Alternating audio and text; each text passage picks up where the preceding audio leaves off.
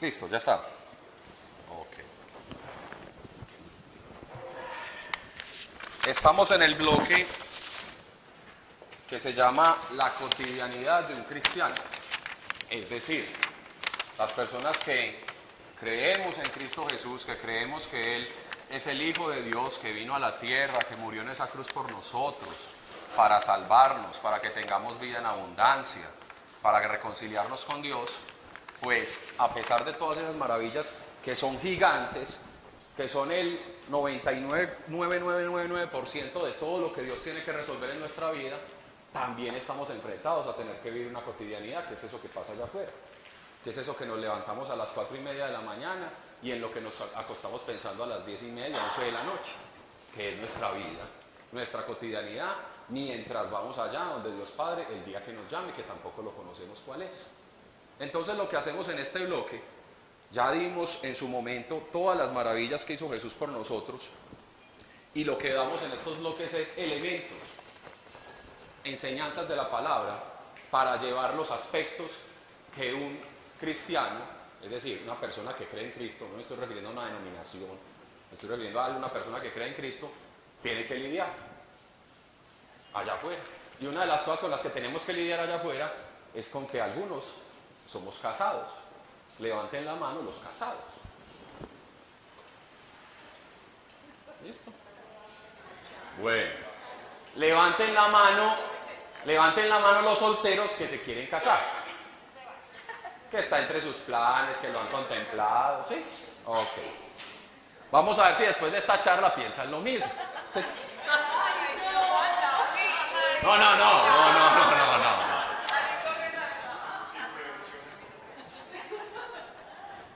No, no. Eh, van, a ver por qué les digo eso y no, es en broma, pero, pero es parte de, de, lo que a veces tomamos a la ligera. Entonces, digamos que en un día difícil como el que muchos tuvimos hoy, pues no es fácil terminar la jornada viniendo a, hablarle a, un grupo de personas que algunos conocemos, otros no. Tal vez no es fácil, sería más fácil irme a la casa, darme una buena ducha y, y acostarme. ¿Sí? Eso sería lo más fácil, pero no es lo correcto. En el matrimonio, muchas de las cosas que hacemos las hacemos de la manera más fácil, pero no de la correcta. Y es la primera cosa que tenemos que entrar a preguntarnos, los que se quieren casar y los que ya estamos casados. ¿Cómo estoy conduciendo mi matrimonio? ¿De la manera más fácil o de la manera correcta?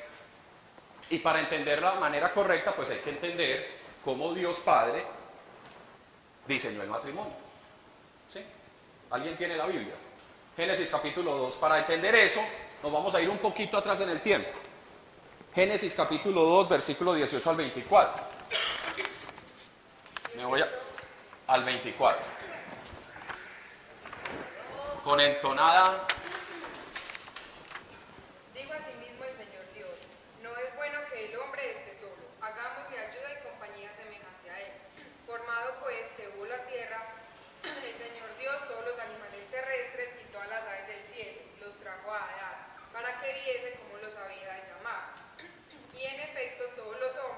puestos por Ana, los, todos los nombres puestos por Ana a los animales vivientes, esos son sus nombres propios. Llamó pues a Adán por sus propios nombres a todos los animales, a todas las aves del cielo y a todas las bestias de la tierra, mas no se hallaba para Adán ayuda o compañero a él semejante. Por tanto, el Señor Dios hizo caer sobre Adán un profundo sueño, y mientras estaba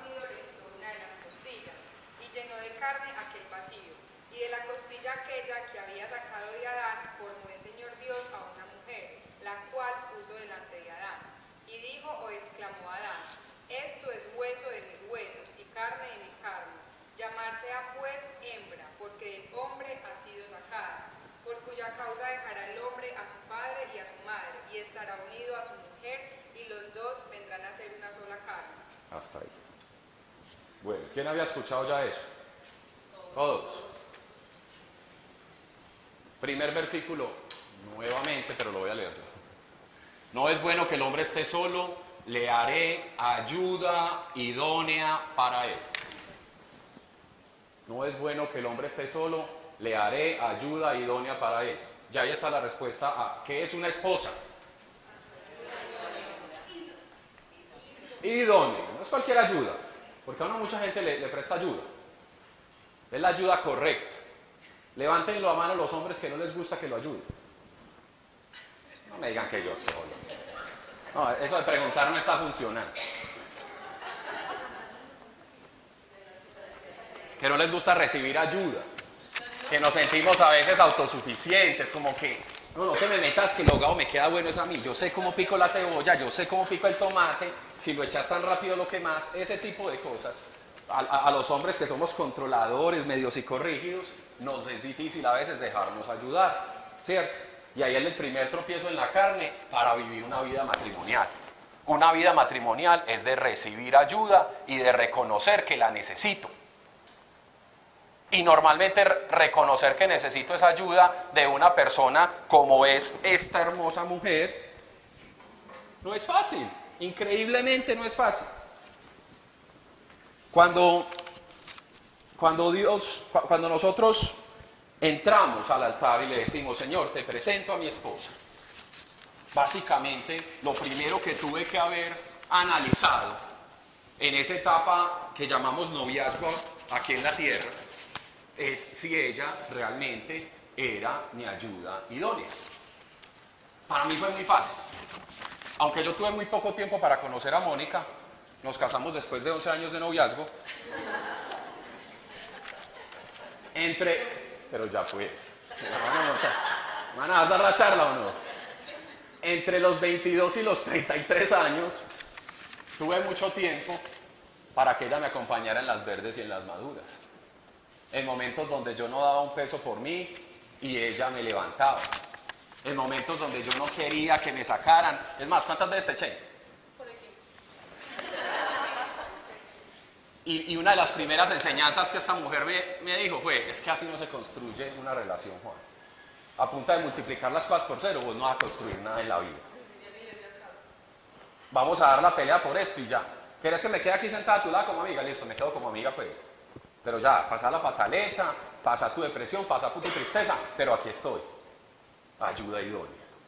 En muchas de esas circunstancias, mi primer ataque de pánico, cuando no era capaz de redactar la tesis, en mis borracheras insoportables, en muchas de las circunstancias que pasaron en esos 11 años, para mí era un validador. Esta es mi ayuda idónea. Fue muy fácil identificarla. La estocada final fue cuando yo tenía 28 años que esta mujer decide acercarme al Señor. Todavía más confirma que es mi ayuda idónea, así no me haya gustado en ese momento. Pero para ella no fue tan fácil identificar si este era el hombre que, pretendía ayudar o, o, con el que iba a pasar toda su vida. Y por eso los dejo con ella para que cuente cómo fue que validó. Para mí era muy claro, ella como que tenía muchas dudas, pero para mí era muy claro que, que yo quería que ella fuera mi esposa. Pero ella sí hizo un correcto ejercicio de validación. ¿Cómo lo hiciste? Hágalo.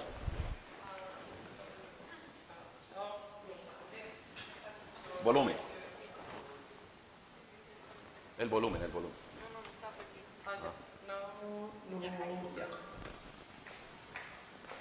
De todas esas, ese tiempo que yo pasé con Juan, a mí me gustaba el corazón de Juan. Me gustaba lo familiar, cómo trataba a su mamá y le decía, hola mi amor. Me encantaba eso, me encantaban cosas de detalles, de respeto, me gustaban muchas cosas de Juan. Pero había algo,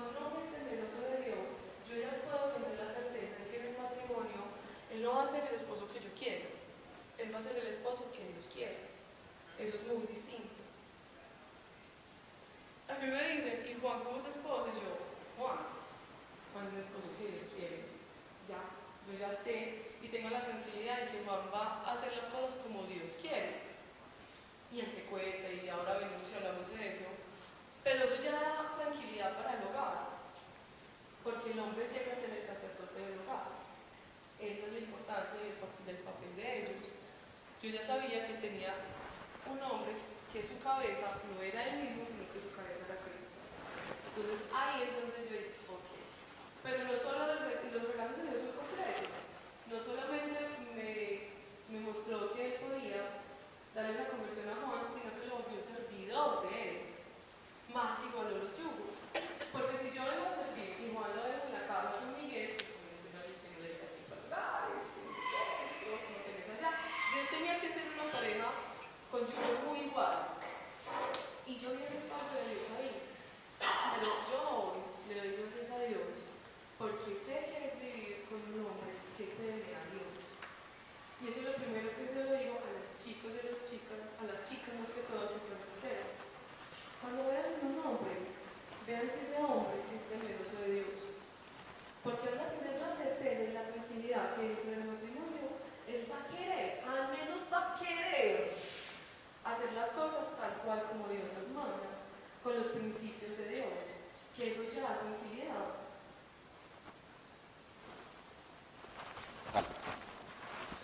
Entonces, haciendo alusión al último versículo que dice, por tanto dejará el hombre a su padre y a su madre y se unirá a su mujer y serán una sola carne. Eso no es la primera vez que lo escuchan, ¿cierto que no? Casi en todos los matrimonios de las telenovelas mencionan eso. ¿Qué hay detrás de eso? ¿Cuál es la realidad que hay detrás de esa, de esa afirmación? ¿Cómo así que una sola carne? Yo la veo allá allá y me veo a mí acá. No somos una sola carne, ella está allá yo estoy acá. ¿Qué es lo que está pasando? ¿O cómo será que nos está viendo Dios cuando ya nos mira después de la bendición matrimonial? Resulta que hay una realidad espiritual que aunque no la vemos a simple vista, a simple vista nadie encuentra en la calle, uy, vos tenés una cara de esposo de Mónica. Pues los que me conocen saben. Pero habrá personas que no lo identifiquen, uno se pone una argolla pues como para consagrar el matrimonio, pero como un símbolo. Pero delante de Dios, Dios no entiende y ya no comprende una naturaleza Juan David y una naturaleza Mónica por aparte. Delante de Dios hay una unidad, hay un solo espíritu. Ahí está el reto. Dios nos ve como uno solo y a veces estamos espalda con espalda. Eso pues si me deja entrar a la pieza y no me deja enlazar. ¿cierto? A veces las circunstancias acá en la tierra de ser una sola carne con la esposa, pues son el reto más grande. ¿Cómo ser uno? ¿Cómo ser uno? Como matrimonio. Dios da unas instrucciones básicas. Mujer, sea la ayuda idónea. Maridos, ¿qué dice Pablo? Da la vida por tu esposa, así como Cristo dio la vida por su iglesia. Ahora yo le pregunto a los solteros, solteros, ya conocieron una mujer por la cual valga la pena dar la vida completamente, esa vida maravillosa que Dios les dio. Yo ya la conocí y estoy tranquilo. Pero la dimensión de eso es grande. Y hay que entender la vida en todas sus dimensiones que le vamos a entregar por esa mujer. No es simplemente lo bonita que es, con esta mujer y con lo que gana me va a rendir mucho el pago del apartamento, tiene muy buenos gustos para los muebles, tiene como buena contextura, buena complexión, tiene los ojitos verdes, que los niños saquen los ojos verdes. No. Vas a dar la vida por esa mujer. Ella es tu ayuda idónea y van a ser un solo espíritu. Y ahí viene lo otro. ¿Qué viene de atrás esta mujer arrastrando de sus generaciones espiritualmente hablando? ¿Y qué viene arrastrando este hombre de sus generaciones espiritualmente hablando? ¿A qué te estás uniendo? Tal vez físicamente y, lo ves a simple vista. Esta mujer hermosa. No, ve, la suegra tiene 60 y parece de 38. No, no, no, me caso con esta. Tomamos decisiones desde nuestros sentidos y no entendemos la connotación espiritual de lo que hacemos cuando nos hacemos uno. Y de ahí viene la otra parte, donde es importante poner a la, a la mesa cuando yo voy a decir me voy a casar o cuando digo ya estoy en un matrimonio, conocí a Dios después del matrimonio, es decir, ya, ya, ya tomé la decisión por allá atrás y, y conocí aquí después a Dios. ¿Qué hago? ¿Qué hago Juan? Ayúdame. Pues lo primero es que entiendan quién es cada uno. ¿Quién soy? ¿De dónde vengo? Muchas de las discusiones que se dan en la pareja es uno defendiendo, es que a mí me enseñaron en mi casa que se hace esto así. Es que simplemente mi manera de ser es esta. ¿Qué hacer? ¿Qué hacer con una persona que, parece, que piensa absolutamente contrario en todas las circunstancias? Matrimonios se han encontrado circunstancias en que sus esposos piensan completamente contrarios. Albertico, ¿usted qué tiene experiencia, papá? Claro, muchas veces. Muchas veces. No le creo. Si no me lo dice. Dorita, hay cosas en las que este mucharejo piensa absolutamente contrario a vos.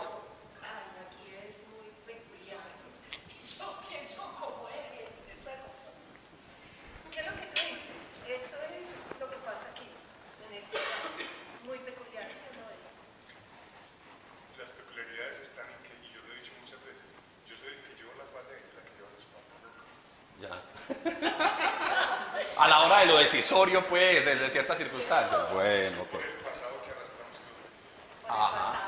Ese pasado del que al parecer somos esclavos, ¿sí? Esas, esas maneras como nos enseñaron en nuestra casa a ser, esos matriarcados de los que vienen, así como la familia de Dora, donde se hace lo que la mamá diga porque es la que tiene el sartén.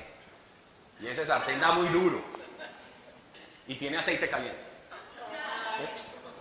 Entonces, esos pasados, ustedes me dirán, Juan, entonces, ¿qué hacemos? Resolverme el pasado de mi esposo. ¿Cómo me lo vas a resolver? También le tengo la solución. El hermoso versículo 2 de Corintios capítulo 5, versículo 17, el más gastado y el más resaltado en las Biblias de Aprender, Servir y Vivir. ¿Quién me acompaña con él? Segunda carta de Corintios, capítulo 5, versículo 17, si no me falla mi memoria desgastada.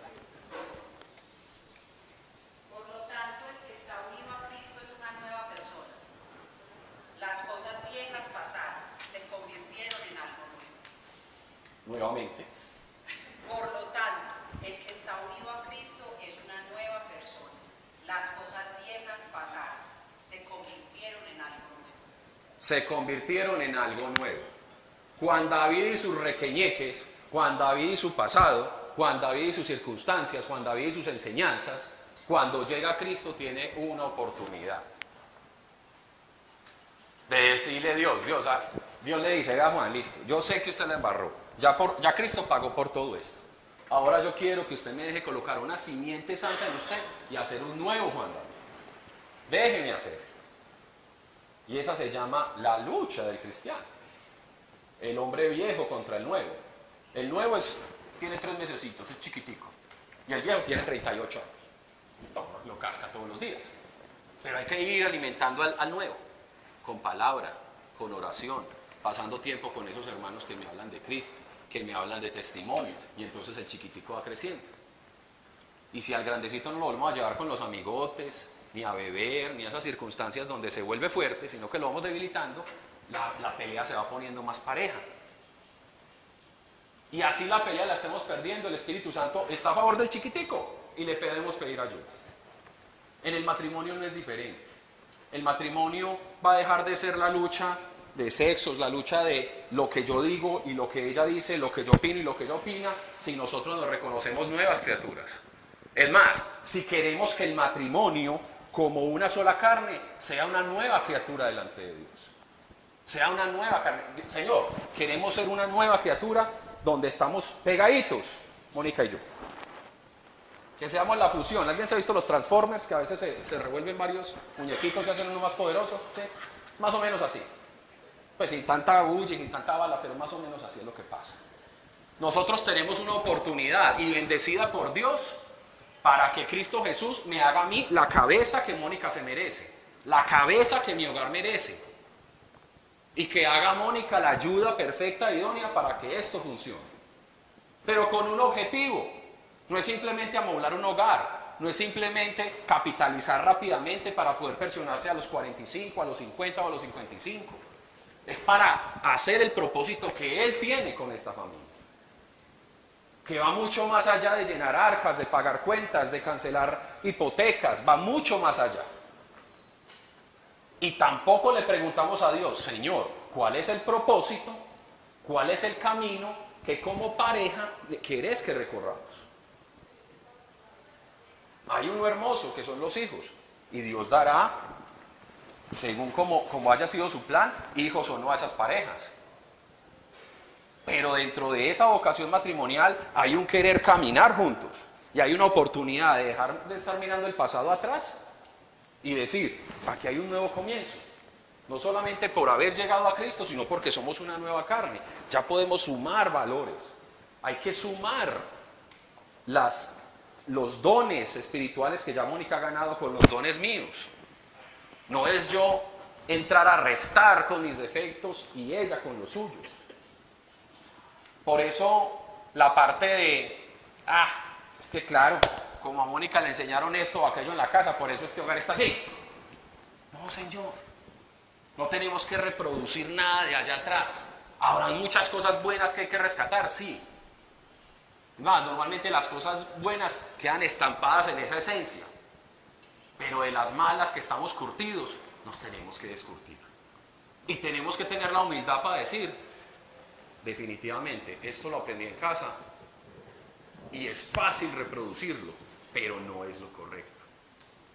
Es fácil llegar a mi matrimonio imponiendo, hago las cosas como yo digo.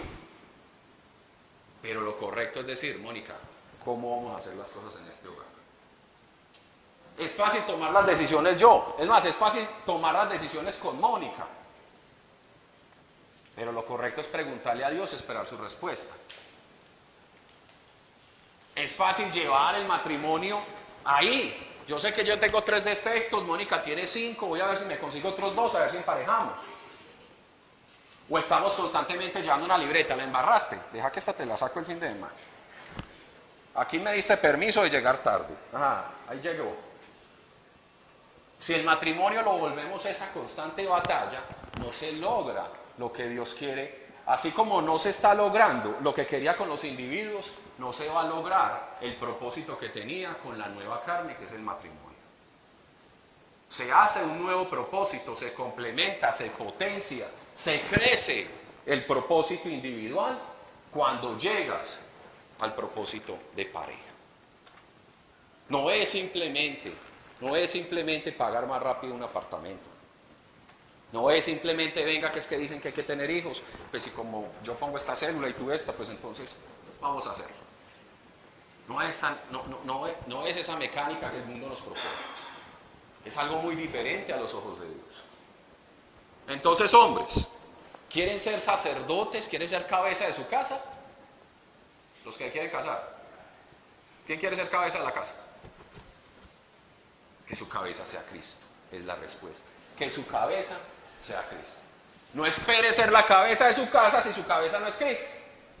Porque Cristo no le va a poder respaldar las necesidades que usted le propone. Usted no va a proponer necedades y camina como Cristo le indica.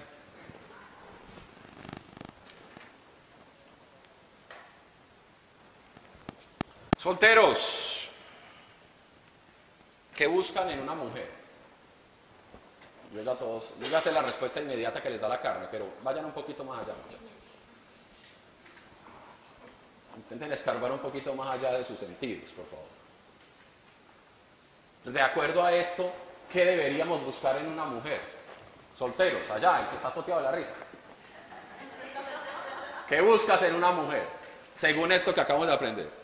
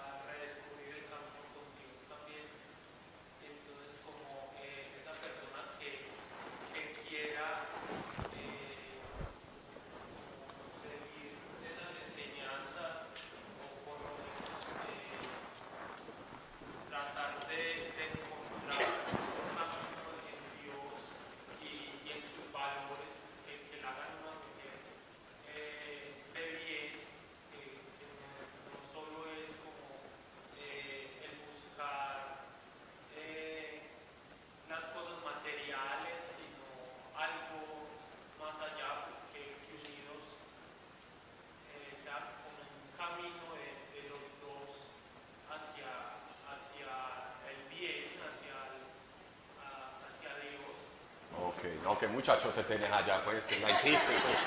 Este man que venga y de la charla, ¿no? Muy bien, es precisamente parte de eso. ¿Usted qué está tan risueño también? Dígame, ¿qué busca, eh, según estas enseñanzas, qué debemos buscar en una mujer? Ah, solterito, sí, que está bien. Sí.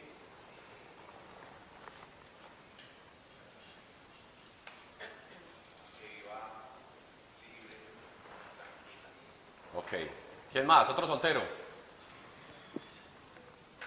Recuerden el primer versículo que leímos. ¿Cuál era? Ayuda idónea. Luigi, ¿a usted qué le hace falta, hermano? ¿Cuál es la ayuda? ¿En qué parte es donde usted como que flaquea y necesita un apoyito, que necesita una ayudita, un empujón? Una de tantas que ya la demorado.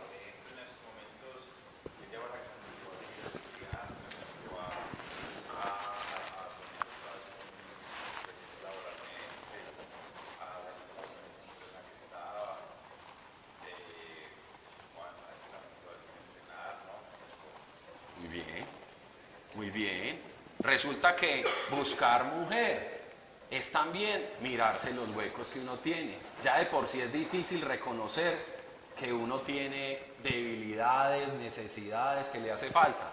O a otro le será demasiado fácil verlo y también está mal, porque no se ve sino cosas malas a sí mismo, ¿cierto? No está buscando una esposa sino otra mamá. Entonces, habrá que reconocer que yo tengo algo que aportar, pero tengo la humildad de decir, necesito un apoyo, necesito una ayuda, necesito una ayuda para, para una persona que sea naturalmente me lo pueda entregar. Y yo esa alegría la veía en Mónica. Yo para enojarme, estoy solo. Y esta vieja para alegrarse sin sentido está sola. Yo no entiendo que se ríe. Y le, saco una lista y, y me tranquiliza y me ayuda a ver la vida de otra manera. Y curiosamente ella me dice, Juan, es que cuando tengo un problema necesito que seas vos el que me levantas y yo, ay, pues pucha, se embalo. Pero curiosamente también lo sé hacer. Porque a veces somos más, fácil, somos más capaces de levantar al otro que de levantarnos a nosotros mismos. Cuando yo miro a mi pareja, tengo que mirarme un poquito lo que falta en mí.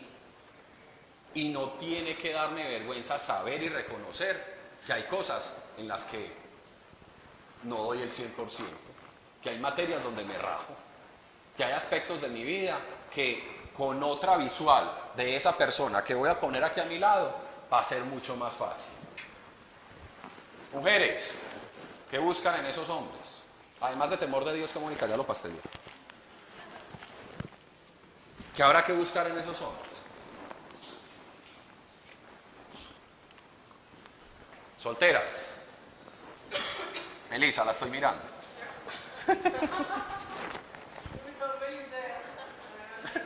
Eh, Melissa. Me acordaste de la película Matrix cuando, cuando esquiva balas, más o menos así.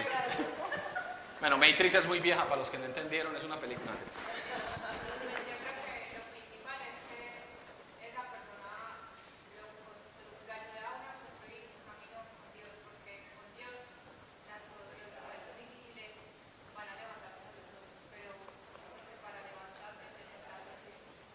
Ok, muy bien. ¿Cómo así? No, tan poquitas, pues. De un hombre eh, hay que buscar que sea capaz de proveer, que sea un hombre que sea capaz de proteger y obviamente pues y como una relación y una familia en Dios. Ok. Está bastante el estándar, está el, esta- el estándar está bastante alto para los solteritos que están echando el ojo, o sea que a trabajar duro. sí, pues, no, no, no, porque es que es rol del hombre. O sea, Ok. Créame que, créame que el deseo natural que tenemos los hombres de, de ser, de- de ser proveedores de nuestra casa, de llenar la nevera, hay una obsesión rara con, con eso. ¿sí? Hagamos esa rotación. vení. por Hagamos eso ese ella paréntesis. proveer le toca a los dos. Hagamos el paréntesis de, de mañana. En los hombres, Dios ya puso una naturaleza innata de querer proveer. Pero cuando se está con Dios, tiene que haber un aprendizaje antes para manejar esa naturaleza innata y es entender que Dios provee y que el hombre tiene que rendirse de tal manera que Dios lo puede usar pero que es Dios el que provee la casa. Pero le toca entenderlo es al hombre. Yo Porque cuando al me hombre casé le no toca- sabía eso. Exacto. Entonces cuando cuenta. Ah, no, verdad que es un micrófono. Yo cuando me casé no sabía eso, yo creí que estaba por mis cuentas, ¿sí? En septiembre yo renuncié a un trabajo que tenía en Segovia, en noviembre me casé, dos desempleados camino al altar, dos desempleados que no sabían dónde iban a vivir disfrutando una luna de miel en Panamá, dos recién casados durmiendo un día en la casa de la mamá, otro día en la casa de la suegra y casi un mes en, la- en el apartamento de un amigo. Que se fue a pasear y dejó el apartamento, ahí les queda muchachos, relájense. sí. Así fue bien planeado pues todo mi, todo mi matrimonio. Fuimos a Panamá pues, un, botico que sea. Resulta que me caso desempleado y empiezo a renegar de Dios. Bueno, señor, a ver pues, no me dices que esa bendición es sobrenatural y en la bendición del matrimonio la que consiguió trabajo el día de la boda fue aquí la señora. Yo creo que muchos han escuchado pues esta historia. Y yo me demoré otros seis meses para conseguir trabajo, es decir, ajusté nueve meses o 40 semanas, una cuarentena tuve de semanas sin tener empleo y poder proveer mi hogar como lo ponía yo en mi corazón y como lo tenía muy fuerte en mi corazón, ¿cierto? Digamos que el derechazo más fuerte que a mí me han dado es una canasta de huevos entrando a mi casa en las manos de mi suegro, ¿cierto? Eh, eh, que es un derechazo a mi orgullo. Me prometiste que la ibas a, cuidar y aquí me, te- me tienes trayendo huevos para poder alimentar. ¿Sí? Entonces resulta que ese Dios llamado orgullo, Dios, eh, pero ya apuesta por mí. Resulta que ese Dios llamado orgullo que tenía yo, no chiquito, ¿sí? Dios lo tenía que poner en su lugar. Y se tardó 40 semanas en hacer. ¿Sí? Menos mal no fue 40 años. ¿cierto? Resulta que cuando yo me rendí, esos, digamos que esos nueve meses, esos seis meses de casado, aprendí a barrer muy bien, a trapear muy bien, yo casi pelo ese apartamento punta de trapera. desesperado, no veía cómo hacer que pasara el tiempo. Pero también me aprendí a rendir a Dios. Y decirle, no aguanto más, por favor, ya. Decime qué necesitas que aprenda. ¿Qué necesitas que aprenda? Uno de esos tantos días donde ya estaba desahuciado y desesperado porque no había entrado esa llamada, porque lo de con asfaltos no salió, porque mis socios me daban la espalda, porque muchas circunstancias que eran mis planes B con los que yo me había venido de Segovia, ninguno funcionó. Me dije, tengo una unidad, estoy pagando una arriendo, tengo una unidad con piscina, me voy a ir a nadar. Me dejaron nadar una hora y me sacaron de allá para una entrevista y al otro día empecé a trabajar.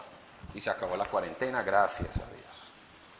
Pero ¿qué, qué fue, ¿cuál fue el aprendizaje? Dios me dijo, voy a proveer para tu hogar o a través de tu suegro o a través de tu esposa o a través tuyo si dejas y lo voy a hacer como yo quiera. Estamos, yo soy Dios y tú eres un mayordomo allá en esa casa. Estamos. Hágale Diego, estamos, pero déjeme trabajar, por favor. No me ahorque más, que me estoy ahogando. ¿Sí? Me ahogaba con mi orgullo, me lo tragué, lo digerí, lo eché fuera y ya. Aprendí a caminar y cada vez que me es difícil levantarme a las 4 y 30 de la mañana para irme a trabajar, recuerdo esos seis meses y me levanto como un tiro. Es así de sencillo, porque antes me levantaba porque no podía dormir.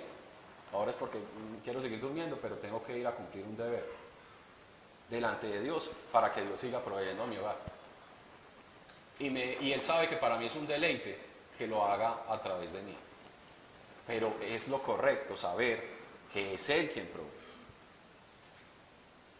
Juan, entonces todo el mundo tiene que parar a prueba. No, no todo el mundo. Yo no conozco el orgullo, conozco el mío. Sí, la tenía que pasar. ¿Sí? No conozco el orgullo de cada uno.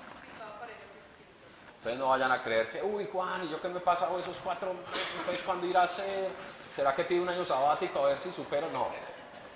Es decir, el orgullo de cada quien y es parte de lo que tenemos que ir a rendir donde Dios. Listo. Listo. Entonces volvemos, volvemos a retomar el tema de la ayuda idónea. ¿El de dónde vengo yo luego? Acuérdate. ¿De, de- de- de dónde vengo? Voy a, a decirles esto a las... no, a todos. Cuando a uno le dicen la ayuda idónea, todo el mundo puede decir, "Ah, si yo en mi trabajo ayudo, si yo en mis papás ayudo, si yo con mi amigos ayudo, si yo no puedo ayudar a mi esposo. Y el esposo puede decir, pues, yo no digo que yo ayude, que me complemente, que me complemente, eso es delicioso. A pesar de que Juan y yo llevábamos muchos años de noviazgo, cuando llegamos al matrimonio, a vivir juntos, créanme que es muy distinto.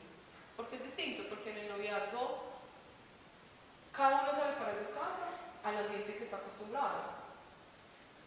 Y cuando cada uno sale para su casa al ambiente que está acostumbrado, tú llegas, pones la cabeza en la almohada y descansas y mañana es otro día y se firman las estrellas y ya, ¿cierto?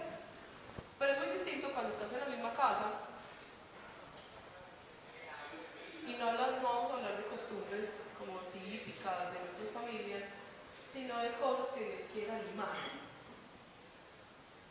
Los judíos tienen una frase que es cásate con la No fui a esa clase de Biblia. Una vez Pablo dijo así, todo judío se casa con la mujer que más lo lime, Como lo pula. más lo pula. Eso duele, que lo pulan a uno, eso duele.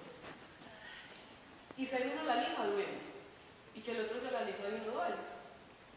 Cuando no gusta hacer la ayuda idónea, a eso es lo que quiero ir. Voy a contarlo con un ejemplo. Me siento. No, ¿Lo aguanto parado? sí, sí. Bueno. Sí, nene, sí, cualquiera. Juan está sentado en la sala, está descansando, claro, tuvo un día muy pesado, tiene un ambiente muy pesado, viene de resolver problemas muy duros. Pero llegamos de domingo. Entonces él es así. Básicamente. Sentado en la espalda Exacto. Multiplicar todo por sí y decir, uy, quiero, quiero calmar mi vida. Y en mi pequeño mundo. Y sobre ese pequeño mundo, entonces uno juegas y empieza a jugar. Y así. Yo soy haciendo otra cosa. Y Doblando ropa, miro- como cosa rara. Me encanta doblar ropa porque yo soy artística. Lo miro y yo digo, yo soy como un mamón, que no puede, que no se siente respetado. El almohadazo no funciona. Yo como le digo a Juan, cuando se este novio, tú le dices, inténtalo jugar. Y estamos caminando, estamos en cine, chao, chao, chao.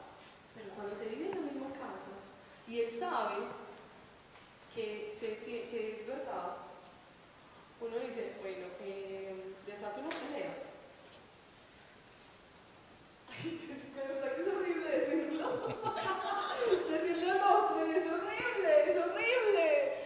Ser la ayuda idónea es eso, porque es que no es en la ayuda en las cosas ricas, también es en las cosas malucas. Entonces yo digo, listo, voy a decir, yo voy a decir, uno, dos, tres, Juaní, no juegues tanto, juega con Miguel. Ahí viene, ahí viene. Quiero, bueno, Y, la reacción mía, claro, yo todo. Miguelito, entonces me escurro en el mueble, termino sentado en el suelo. Miguel, venga para acá. Y me pongo a jugar con él. Cuando él se descuida, amor se fue. Amor se fue el niño, ponele cuidado. Y no crean que no, esto no es de todo el día. Simplemente. Solo las noches. No es justo que le digo, que le digo, porque es que pasaron 15 minutos, llevo jugando 15 minutos y estuvo hace dos horas jugando con él durante dos horas. Él jugó todo el tiempo, pero entonces vengo yo con él, pero es que tiene que salir de ahí. Pero entonces yo, yo decía, me va a responder, Moni, jugué dos horas con él. Yo que le iba a responder si Juan tiene razón, pero él va a seguir jugando. O cuando pasa algo y mercamos y él se va para los soy, Ah, golpe bajo. Esa te la saco. comiendo El fruto, el trabajo del hombre, delicioso disfrutar este momento juntos, estos trabajos de enero, estoy yo también siempre voy a aprender de ti, siempre hablamos lo mismo. ¿A quién le gusta el salchichón cervecero? ¿Me entiende? ¿Me entiende?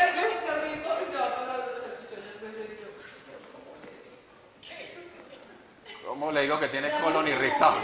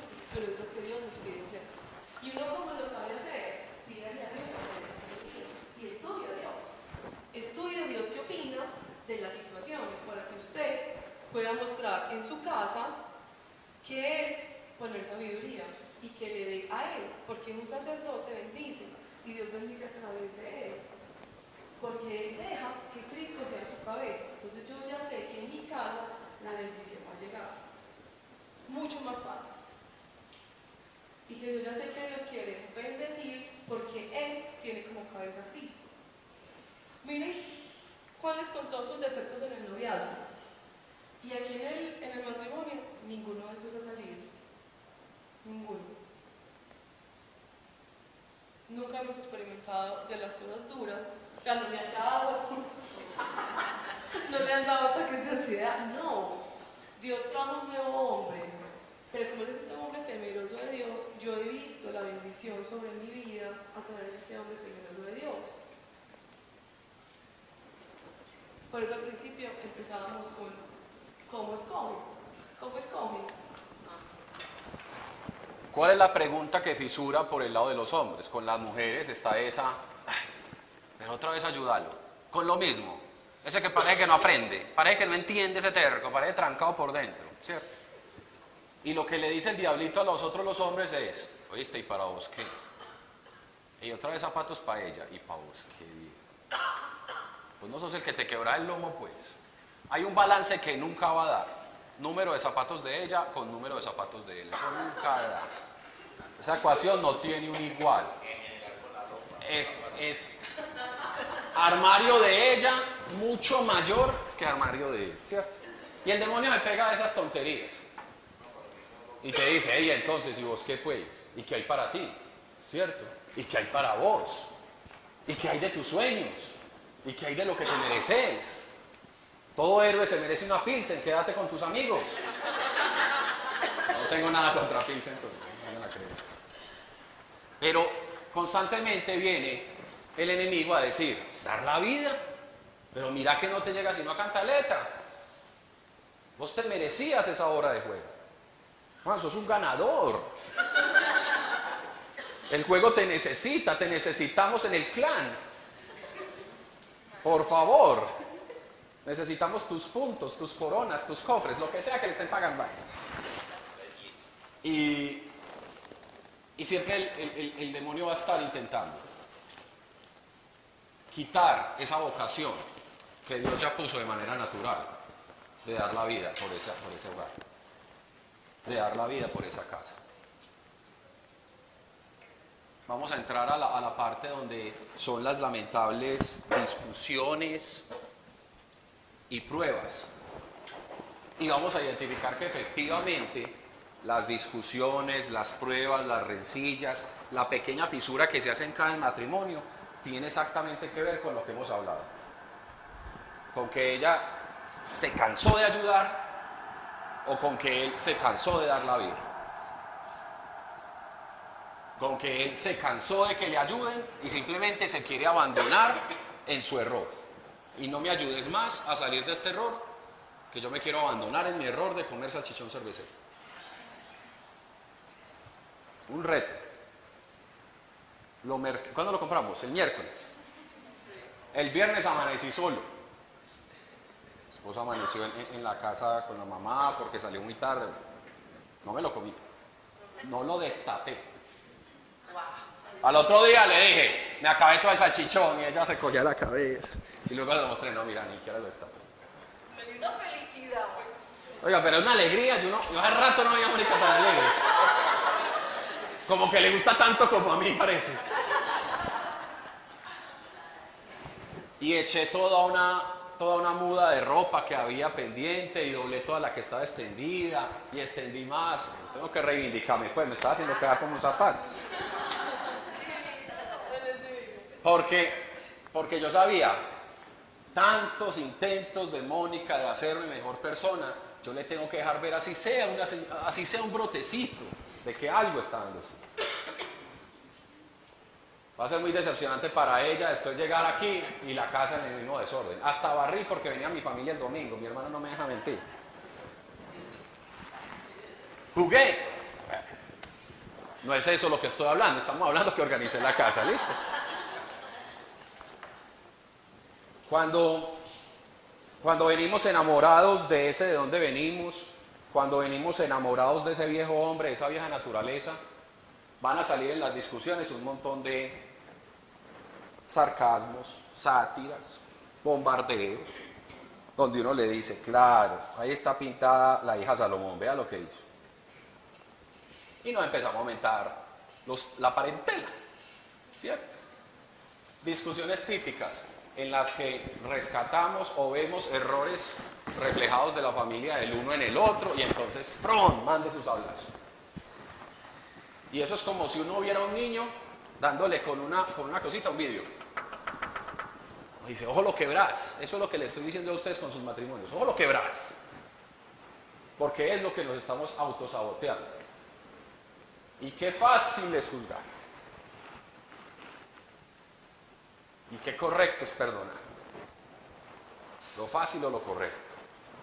Lo fácil, hablar, despotricar, alegar. Lo difícil, lo que Mónica hace, que refrenarse. Señor, ayúdame a no echarle cantaleta a lo Mónica, sino a lo hija de Dios. Ayúdame a no decírselo como lo diría Mónica, la que lo conoce hace tanto tiempo y lo vio perder su apolínea figura.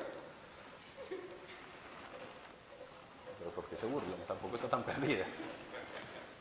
O se lo digo como, o le pido a Dios ayuda para ver cómo se lo digo para que realmente surja el efecto.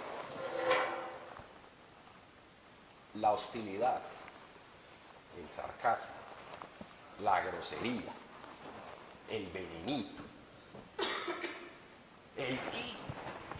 ya sé con qué se la devuelvo, como jugando tenis de mesa, nos devolvemos unas que estamos dándole un vídeo, que estamos cometiendo una necedad que nos no nos estamos dando cuenta que somos una sola carne y que si es como si nos estuviéramos haciendo con un cuchillo así en un brazo. No entendemos que nos estamos hiriendo a nosotros mismos. No nos reconocemos como una sola carne. No nos estamos reconociendo como uno solo delante de Dios. Es como si nos diéramos un tiro en el pie.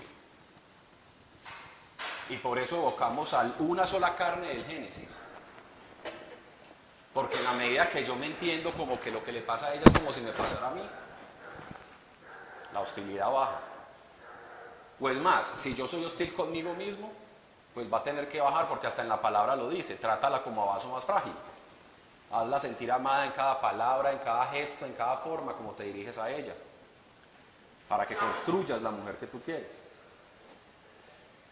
Entonces, cuando estamos en un ambiente de constante hostilidad, de tensión, de grosería, o de simplemente a lo que nos queda tan fácil a los hombres. No digo nada entonces. Y silencio el resto del fin de semana. Bueno, como yo no puedo hablar y hacer jetas. A no construir relación. que a mi corazón se le diera por no bombearme sangre al cerebro, ¿qué me pasaría? No comunicar, simplemente ya, ya. Entrar en esa hostilidad es tan fácil, pero nuevamente no es lo correcto. Hay muchas razones justificables para que llegues a tu casa a agarrar a cantaleta a tu esposo. Hay muchas razones justificables para que llegues a ignorar a tu esposa.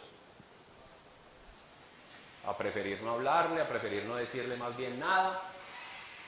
Hay muchas razones justificables, pero no es lo correcto.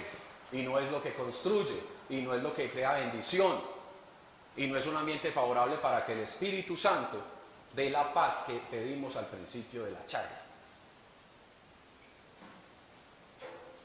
Dejarse complementar duele y es la función de esa mujer con nosotros y de nosotros con esa mujer. El matrimonio es fácil si lo sabemos manejar de la manera correcta, vamos a ver el respaldo de Dios. Y con el respaldo de Dios, todo es más fácil.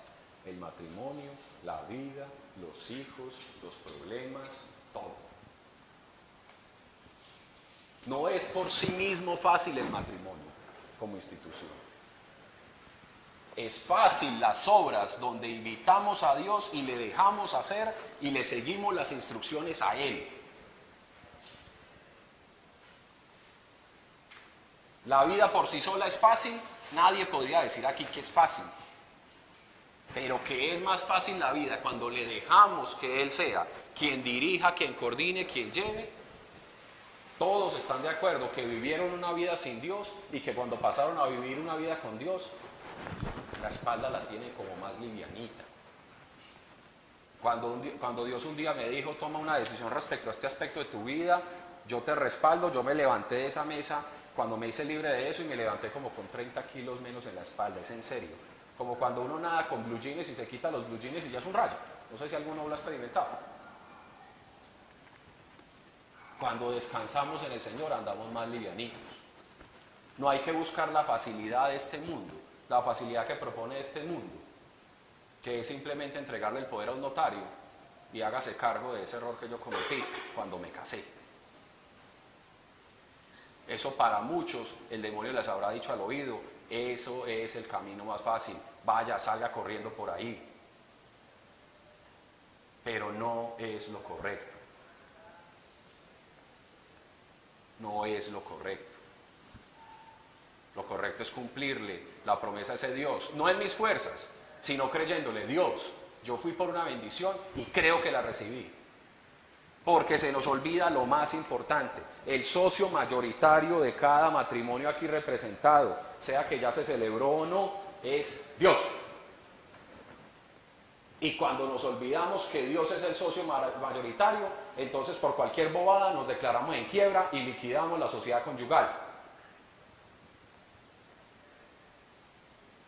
Dios es el socio mayoritario de mi casa, ¿sí o no? O simplemente fue una iglesia bonita que escogí y una ceremonia en la que tomé unas fotos divinas. O realmente invité a ese señor a que fuera el socio mayoritario de mi matrimonio. Los dos pueden estar, como se dice vulgarmente y me perdonan, en la chanda. Tal vez los dos, esposo y esposa, están en el peor momento de sus vidas. Y la respuesta lógica del mundo es cada quien para su casa, para que no se hagan más daño o para que no pase más. Pero resulta que Dios es el mayoritario de esa sociedad y no se ha muerto. Y está ahí.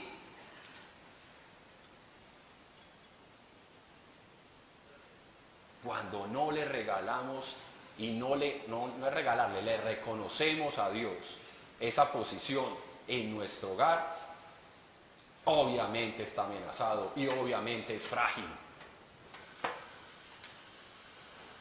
Necesariamente frágil se vuelve un matrimonio cuando Dios no es la cabeza del sacerdote que recibe la luz. Ya está escuchando como distorsionados. Pide unas palabritas dulces ahí que están como asustados. Para ir concluyendo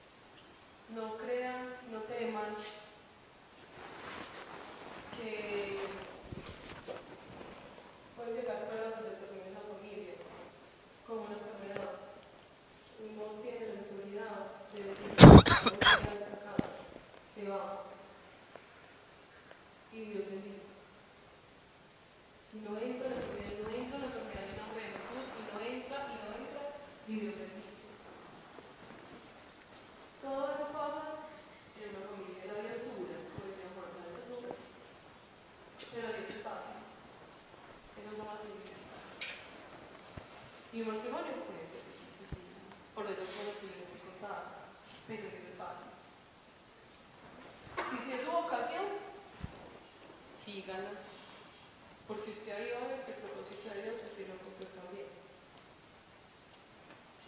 Una vez yo le decía a Dios, yo sino que le decía a una mujer, por ejemplo, a un hombre cuando, cuando le ponen cachos, cuando le pegan, cuando los maltratan, sepárense casa. Entonces yo le mostraba y le decía, claro, es que hay razones muy justas para separarse, muy justas. Es que me maltratan. Claro, ¿cómo vas a que te maltraten? Es que me infiel. Claro, ¿cómo vas a dejar que te hayas infiel? Justo. Dios me mostraba así. El mismo Dios me decía. Claro, es que te robó. Claro, muy justo, sepárense. Pero todas esas razones del mundo son injustificadas. Todas me esas justificaciones son injustificadas ante la unión espiritual que hubo ese día. Todas esas se pueden superar. Todas esas pueden revertirse. Cuando se pide a Dios ayuda. Todas. Porque la unión fue espiritual y es mucho más grande de lo que uno puede imaginarse o que les pueda caer en la cabeza. Con una unión espiritual, una unión por Dios. Y Dios no es mentiroso, ni Dios se arrepiente.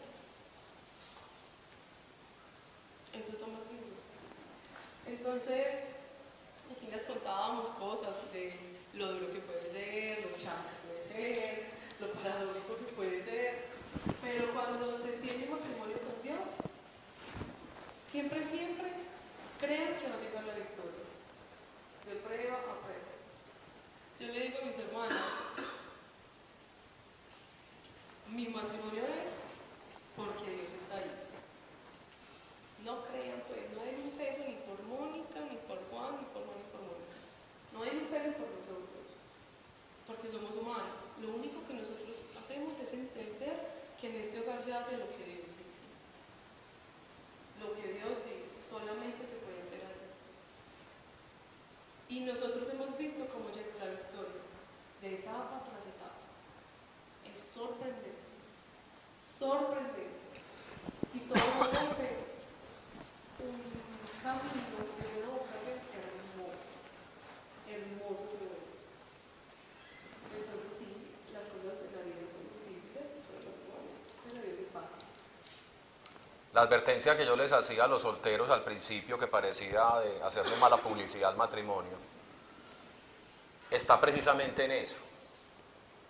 En la realidad que ustedes no dimensionan y no pueden ver con sus sentidos, de la realidad espiritual del vínculo que van a hacer con esa persona. No es charlando. No es para decirle en dos años, ay Dios, yo creo que me equivoqué. La bendición de Dios no es revocable. Él no está jugando. Cuando vamos allá, tenemos que ir con esa convicción de que ese temeroso de Dios, de que esa mujer piadosa, pónganle pruebas así como Mónica. Responde más tardar 15 días. Por una pregunta que, que para Mónica ya tenía la respuesta, era imposible que yo me convirtiera. Para mí era más porque yo me conozco más. Yo pasé más tiempo conmigo. Mi hermana ya había hecho un intento por convertirme.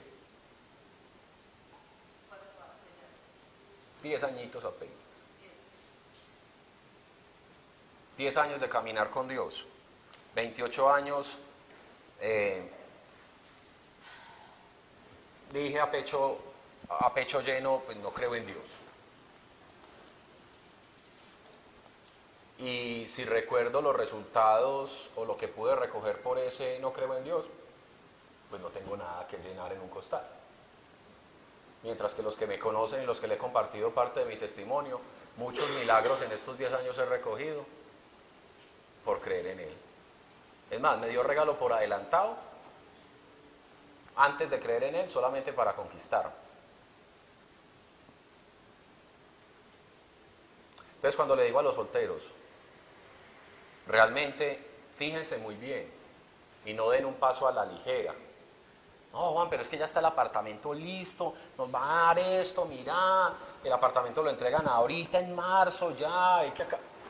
Bueno, que entreguen lo que sea, hermano, pero si usted está dudando que esa mujer es una mujer piadosa, que ese hombre es un hombre temeroso de Dios, hombre, quieto en primera. Juan, y entonces, ¿qué le decís a las personas que ya se casaron y se casaron en yugo desigual? Pues que tienen una tarea difícil, que con Dios es fácil. Pero esas mujeres van a tener que doblar mucho rodilla por esos hombres. O viceversa. Porque ya en la escritura está dicho, y tu mujer podrás hacer salvo por tu piedad y por tu, y- y por tu amor a Dios, podrás hacer salvo a tu esposo. Pero no se está cumpliendo la plenitud si él está simplemente escampándose en las bendiciones de esa mujer. Obviamente había mucho más potencial. Cuando se casen, realmente convénzanse de que Dios tiene un propósito con sus vidas. Y convénzase de que la persona que está escogiendo va a potenciar para que el propósito sea aún mayor y más grande. Y también evalúen la, la vocación matrimonial. Hombres, ustedes están dispuestos a dar la vida por una mujer, por esa mujer, por hermosa que parezca. Mujeres, ustedes están dispuestas a ayudar a un necio como, como lo narraba Mónica, que hay que decirle las cosas, que como le digo, que a ayudarlo con ese amor, a hacer el complemento con ese amor.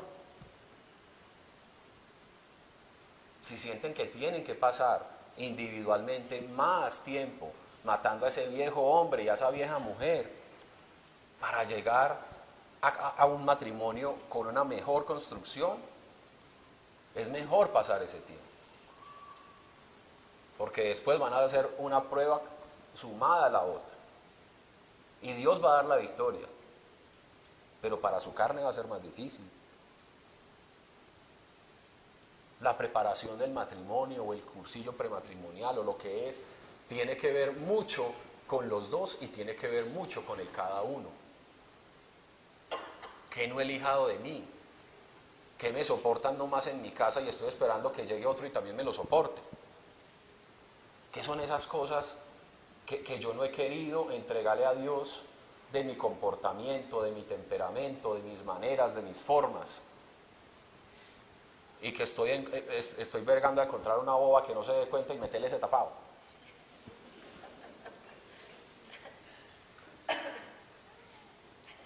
Seamos responsables, hombres, porque van a llegar a ser sacerdotes de una casa. Van a ir a presentar las ofrendas de gratitud y las peticiones ante Dios por una esposa y una descendencia. No es simplemente llenar la alacena y la nevera. Es tener la humildad para decirle a Dios, todo lo que yo no puedo dar, Señor, aquí tengo las manos abiertas, porque quiero que mi casa esté bien.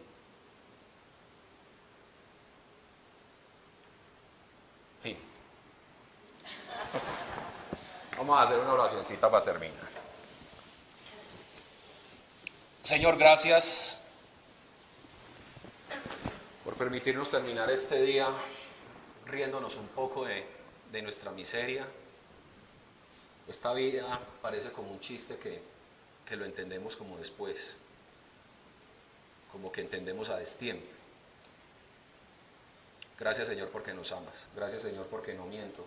Cuando le puedo decir hasta cuando le- me levanto y levanto mi voz diciéndole a estas personas, Dios es el socio capitalista y más interesado de que esa sociedad matrimonial funcione. Y yo sé que no me equivoco cuando lo digo, Señor. Y yo sé que estás interesado para los no casados. Pues resulta que tal vez no están casados, pero pues de alguna parte tuvieron que haber venido. Aquí no está ni Adán ni Eva. Entonces tienen también un matrimonio por qué interceder, que es el de sus padres. Y hoy, Señor, espiritualmente, levanto mis manos y llevo cada matrimonio a tu trono de gracia, Señor. Si hemos manchado la bendición, renueva la Padre. Si hemos ignorado la bendición, renueva la Padre. Si hemos renunciado a ella, renueva la Padre. Y que seas tú, Señor, demostrándonos en este plano natural donde podemos ver que tú respaldas y no te arrepientes de la bendición que diste en estos matrimonios aquí representados. Padres, hermanas, cada matrimonio, porque lamentablemente dudo que pueda haber alguna persona que no tenga un caso de separación cercano. Yo te pido, Señor, que te glorifiques. Yo te pido, Señor, que toda la oposición que ha habido en contra de esas uniones se va en el nombre de Jesús. Yo te pido, Señor, que no tengas en cuenta su necedad, sino esta oración y la sangre de Cristo, que cubre multitud de faltas y errores. Yo te creo, Señor, por la restauración de matrimonios que tal vez fueron deshechos según un notario hace mucho tiempo, pero que para ti, Señor, tienes un propósito inconcluso que quieres cumplir. Te llevamos todos esos matrimonios los que aparentemente están bien y los que obviamente no lo están. Te llevamos los que están pasando por una época de bonanza y por los que llevan una época de escasez. Te llevamos los que dicen estar en ti y están en ti y los que están dándote la espalda, pero que detrás de ellos hay unos hijos que tú les confiaste y que quieres que ellos los disciplinen en tu palabra y en tu amor. Regalémonos este minutico para pensar en cada pareja separada que conocemos.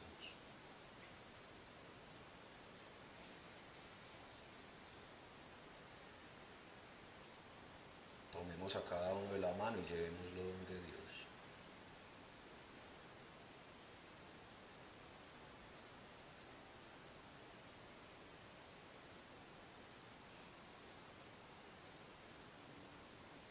Yo sé que son muchos, tomémonos el tiempo.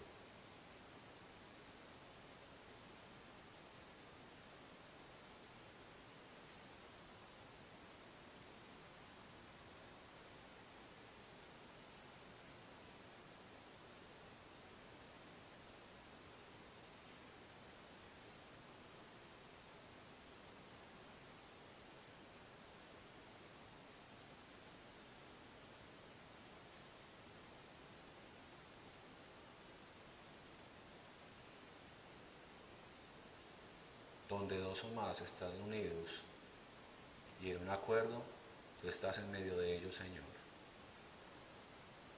Y hoy te pedimos por todos los matrimonios que de una u otra manera están representados en este grupo por nosotros mismos, por cada consejería de pareja que hemos dado, por cada Eucaristía que se ha celebrado para unir a una pareja